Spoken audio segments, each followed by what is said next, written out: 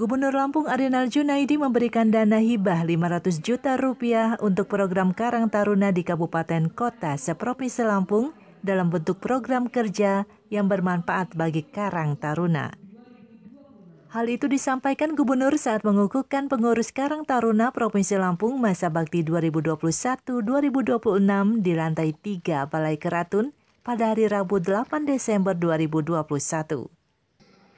Gubernur Arinal juga meminta Ketua Karang Taruna Lampung terpilih periode 2021-2026 Dendi Ramadona untuk mengajak para pemuda bersama bekerja dan berkarya untuk membangun Lampung berjaya dan meminta para anggota terpilih Karang Taruna untuk ikut berpartisipasi dalam segi pertanian melalui pendekatan Kartu Petani Berjaya atau KPB.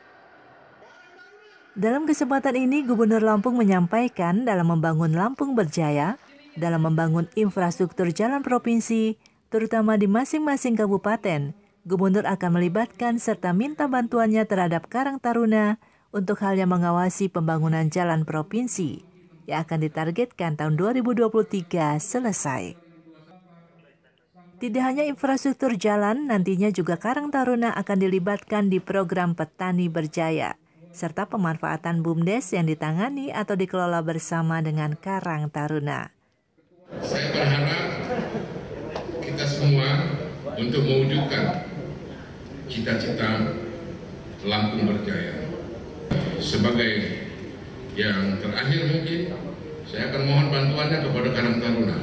Karena saya ingin membangun 2,1 triliun yang saya dapatkan dengan pengangsuran membangun infrastruktur jalan provinsi di masing-masing kabupaten yang ada dalam provinsinya. Oleh karena itu pengawasan yang saya perlukan tetapi tidak konflik. Oleh karena itu ini nanti saya akan mengajak mudah-mudahan dalam 2023 jalan provinsi di kabupaten selesai.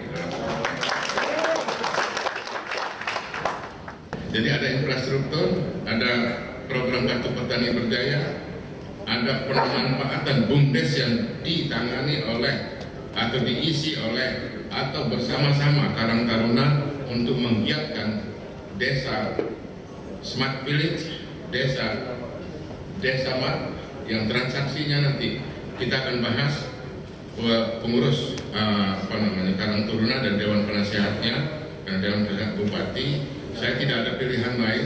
Kartu Petani Berjaya itu harus sukses, tetapi yang cerdas di desa adalah teman-teman kita dari Karang Taruna sebagai orang yang berasal dari desa. Ngapain pindah ke Tangerang kerja di sana?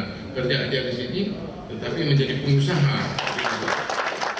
Oleh karena itu saya ingin eh, harapkan Karang Taruna dapat membantu pemerintah Provinsi untuk mewujudkan visi misi masyarakat Lampung berjaya sesuai dengan tema yang diusung Karang Taruna pemuda bekerja Karang Tuna Karang Taruna berkarya menuju Lampung berjaya. Dika Mistia Saburai TV Lampung